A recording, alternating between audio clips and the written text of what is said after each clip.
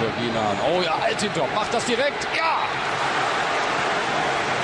Aber er traut sich letztlich dann nicht mit Vollspann zu. Vielleicht stand er auch nicht gut genug, um das direkt umzusetzen. Aber wenn einer einen guten Schuss hat, dann Altintop. Auf der anderen Seite Gomez! Gomez! Das ist der Unterschied. Und das ist ein internationaler Klassestürmer, Mario Gomez. Erste Torchance. Zum ersten Mal richtig im Spiel da vorne. Schönes Anspiel von Thomas Müller. Natürlich kein Abseits, aber komplett verschätzt und verkalkuliert hat sich das Servet und dann ist das einfach fantastisch gemacht. Das ist das Selbstvertrauen. Schauen Sie, angenommen, der Ball liegt sofort. Jetzt diese Bewegung gegen Servet, der naiv verteidigt. Und da drauf gehalten, unhaltbar, perfektes Timing von Mario Gomez. Glückliche Führung der deutschen Mannschaft. Das hat sich nun wirklich nicht abgezeichnet. Aber das sind die Qualitäten einer Weltklasse-Mannschaft. Aber der Pass. So viel Risiko muss dann auch nicht sein. Neuer, gewohnt effektiv. Götze im Lauf. Klebt der Ball am Fuß und hat das zu gut gemeint. Müller kommt! Müller! Müller hat wieder. Wieder Ausgangspunkt.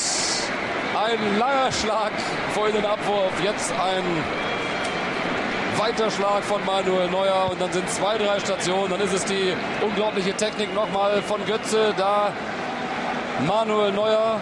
Den Ball muss man mal so runternehmen wie Götze. Und Müller kommt von ganz hinten angestürmt, weil er überhaupt nur mitläuft und nicht abschaltet. Deswegen hat er die Chance. Bisschen Glück bei Götze in seiner besten Szene. Auch der Ball war natürlich nicht für Müller gedacht. Aber durch die Beine von Elgemann Rockmatz zum 0 zu 2, zum 2-0 für Deutschland hier in Istanbul. Auf Wiedersehen halt durchs Stadion. Das verstehen auch viele Türken. Gönül. Gute Flanke.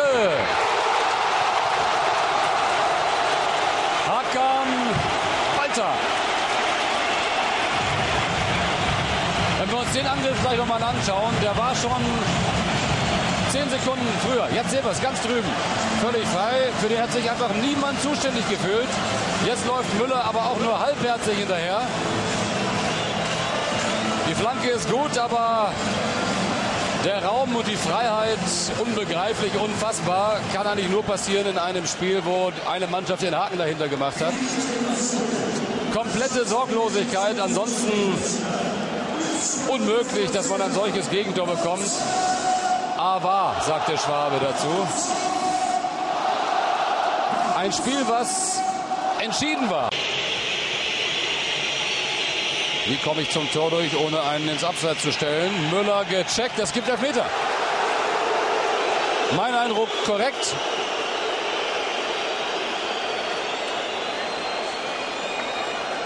Güngel fragt nochmal nach, ist das Ihr Ernst? Aber natürlich, er trifft ihn, er trifft ihn unten, er rammt ihn mit dem Körper weg.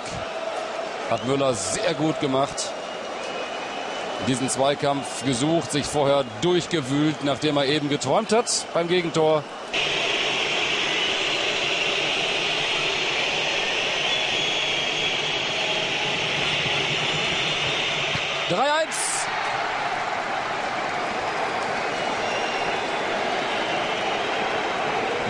Ein großer Fan des Basketballs, Bastian Schweinsteiger, ist ja kein Geheimnis, dass Bayern München inzwischen auch in der Basketball-Bundesliga angekommen ist, von Dirk Bauermann trainiert. Ein Riesenfan von Bauermann und in Bayern ist der Schütze des Elfmeters.